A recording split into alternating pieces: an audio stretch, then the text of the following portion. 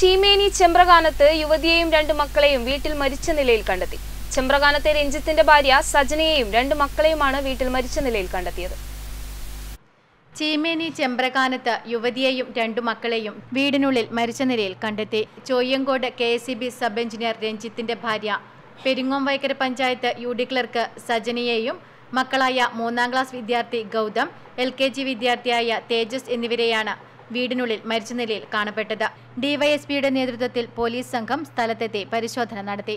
കാസർഗോഡ് നിന്നും finger print വിദഗ്ധരും സ്ഥലത്തെത്തി പരിശോധന നടത്തി.